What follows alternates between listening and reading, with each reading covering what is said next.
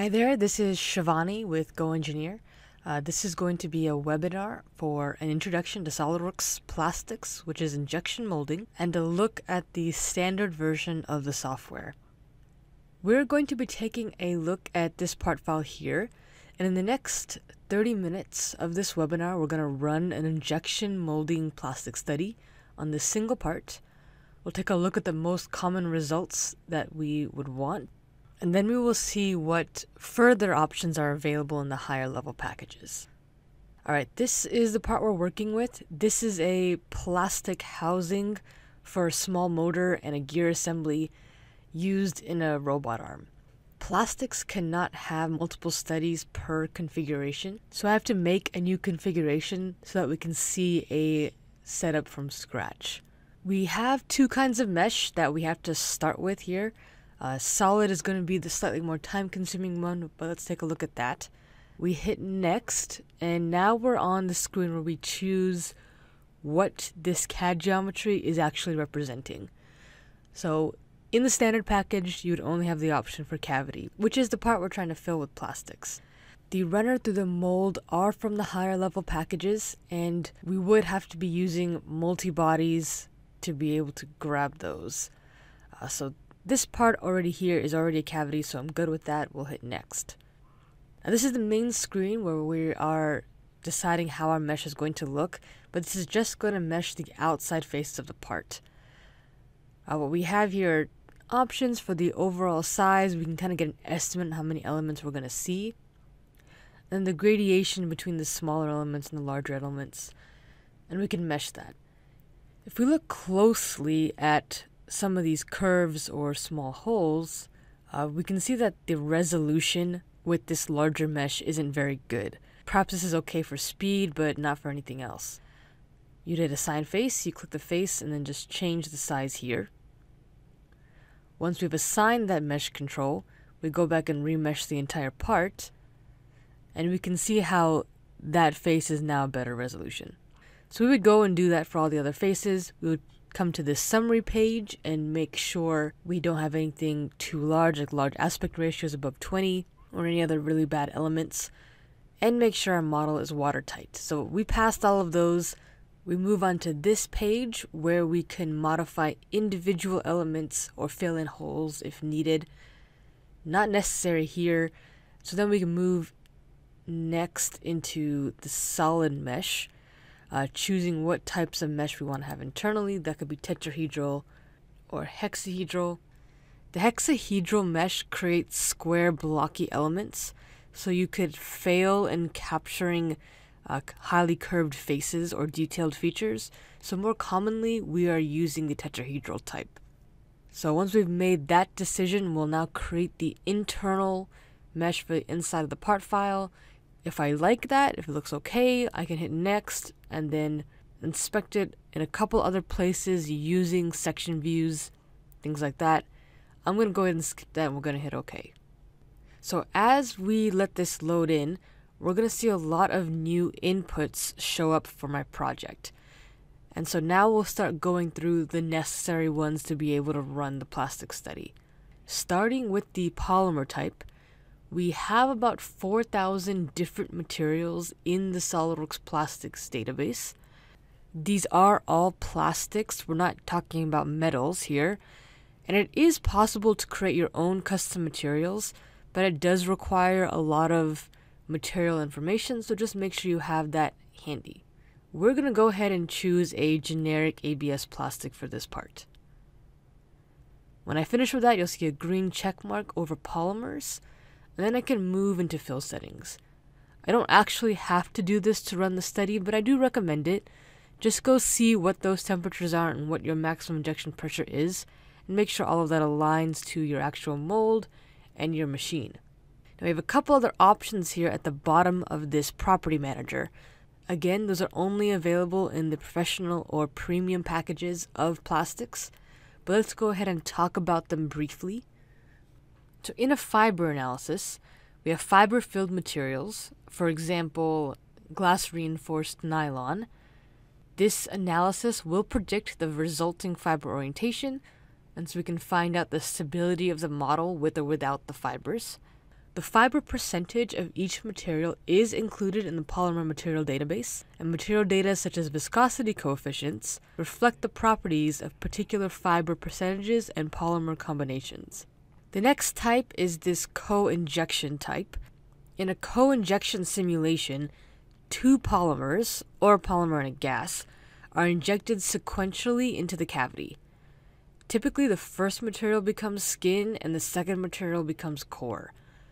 Co-injection is also used for gas assist injection molding, where a gas is selected for the second material and the part becomes hollow. And the last thing we need to do is set up some injection locations for this part file. So if I go to the injection location within our boundary conditions, I can start selecting where the plastic is injected into this part file. In this case, this motor housing is a part of a larger family mold, and it does have multiple injection locations because of that. Generally, the way you do this is you select on faces. When I do that, it's going to seem like it's creating a cylindrical type of input. But if we look at the mesh, this is actually getting inserted directly on the node. But when we get a look at the mesh, we can see this is actually just snapping to a node of those elements. And when I add the location, this is actually filling just through one of the elements itself. If this assumed wrong, I could go in and add a couple more faces. So generally what people will do is create a split face and mesh that split face with a fine mesh. That way you get um, a proper injection location. There's no limit on how many gates we can define, but typically we're limited by cost or weld line formation. Multiple gates may be required to fill very large parts, but they can also be used to balance the pressure within a mold cavity to prevent core shift and unbalanced filling. Now this part model itself, a couple other injection places, and after inserting those, we, we can predict the flow pattern.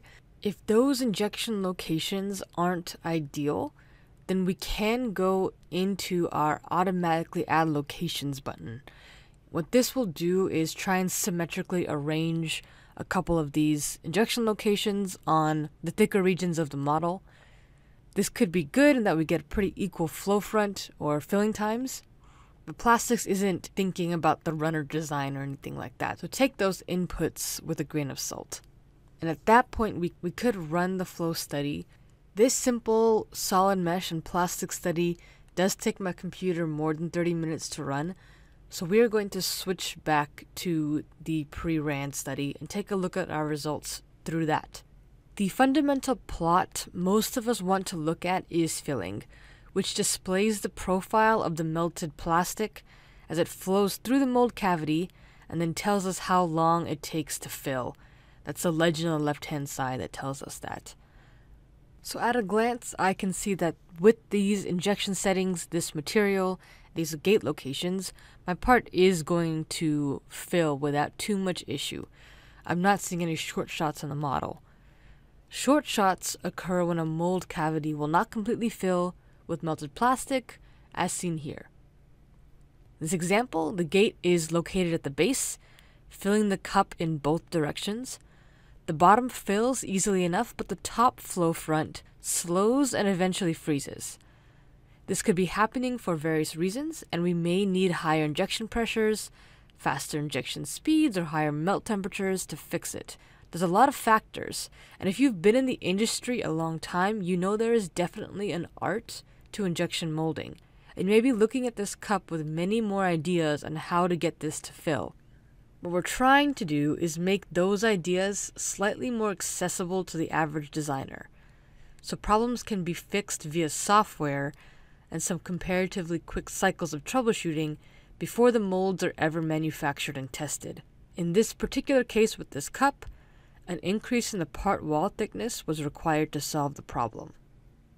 Now within this filling plot type, we have a couple checkboxes. Uh, the first is these weld lines. With weld lines, we have places where the flow front separates and comes back together. They are caused by through holes in the part, and then joined together on the opposite side. They can also be caused by varying wall thickness that results in multiple flow fronts or more than one gate location. Weld lines are never as strong as areas of a part that do not have weld lines, so they can result in structural defects. And poor weld line appearance can result in cosmetic defaults in a molded part. So a quick glance at where these might be on this final version of the part can be helpful. Uh, similarly, we have this air traps checkbox as well in the filling type. So as an injection mold fills with melted plastic, the air in the cavities is displaced by the plastic and we get this dieseling effect. Similar to an engine where air gets compressed to the point it combusts.